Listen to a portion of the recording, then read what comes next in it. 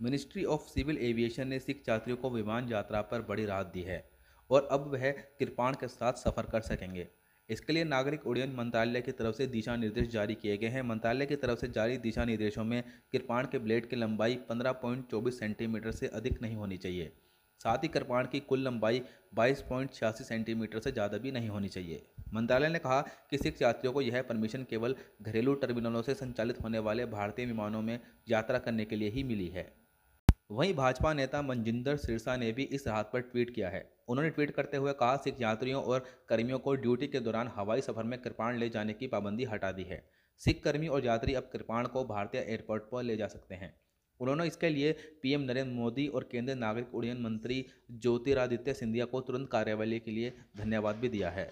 कुछ दिन पहले शिरोमणि गुरुद्वारा प्रबंधक कमेटी के अध्यक्ष हरजिंदर सिंह धामी ने भारत के एयरपोर्ट पर काम करने वाले सिख कर्मचारियों को कृपाण पहनने पर पाबंदी लगाने का सख्त नोटिस लिया था। उन्होंने कहा था कि भारत सरकार की तरफ़ से हाल ही में जारी किए गए नोटिफिकेशन में सिख कर्मचारियों को एयरपोर्ट के अंदर कृपाण पहनकर जाने से रोका है, जो कि सिख पंथ के लिए धक्केशाही है। सरकार के फैसले की हुई थी निंदा।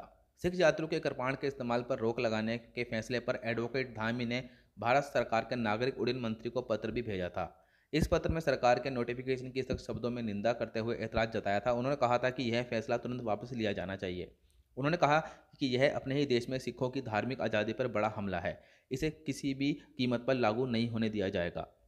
अमृतसर विकास मंच के संरक्षक कुलवंत सिंह अंकी ने भी सरकार के फैसले का विरोध जताया था।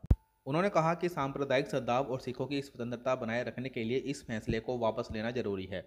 उन्होंने कहा कि यह अनुच्छेद 25 के तहत भारत के संविधान द्वारा प्रदान किए गए अधिकारों का उल्लंघन है, जो एक अमृतधारी सिख को अपनी धार्मिक आवश्यकताओं के रूप में कृपाण ले जाने की अनुमति देता है। हमारी संस्था नागरिक उड्डयन मंत्री और केंद्रीय गृह मंत्री से मांग करती है कि फैसले को तुरंत वापस लिया जाए, ताकि एयरपोर्ट के किसी भी कर्मचारी के साथ भेदभाव ना हो।